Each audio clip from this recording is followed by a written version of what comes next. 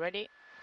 You might almost say he's the man who fell to Earth, the Soyuz capsule bringing back one of this planet's more unlikely music sensations. The ground in sight.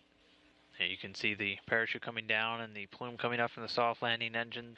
Uh, the three former Expedition 35 crew members returning to Earth. Emerging from that return craft, this is Commander Chris Hadfield, the man who just perhaps has made space cool to a whole new audience. Yes, uh, yeah. That was quite a ride home. Earlier, 200 miles above the Earth, Commander Hadfield had handed over after five months in charge of the International Space Station. From this uh, young Canadian kid's dreams to be realized to command a spaceship on behalf of everybody at the Canadian Space Agency and the International Space Station program that, uh, that trusted us to do our job right. Uh, para.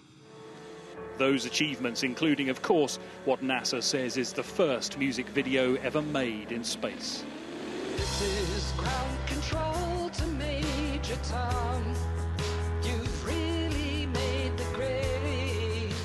The music and the tweets from space, including musings on weightless life and some breathtaking pictures. This one, captioned A New Dawn, have perhaps generated more attention than the space station has ever had. As they were loading into the Soyuz capsule, bringing them home, there was time for one last twit pic of the somewhat cozy conditions inside. And then they were on their way. The down to earth reality is some lengthy medical checks and debriefing at mission control before the reunions, and no doubt some offers to perform down here, and getting used to being labelled the first rock star of space. Greg Milam, Sky News, Los Angeles.